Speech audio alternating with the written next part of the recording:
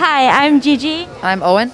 and we're from the Santa Barbara Middle School Teen Press, and we're here with. Amazing. Richie Adams, writer director of The Road Dance.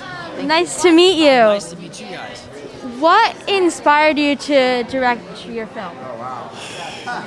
I was first presented with the book, and the story is about um, young love.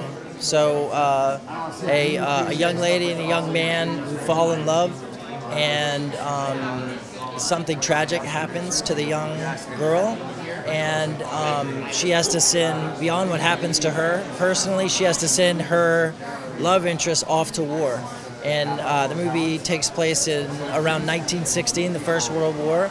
So the movie kind of explores everything that she was up against to ultimately overcome that event that happened in her life and uh, ultimately pursue her dreams. So it wa that was inspirational to me. I have a daughter, six-year-old daughter.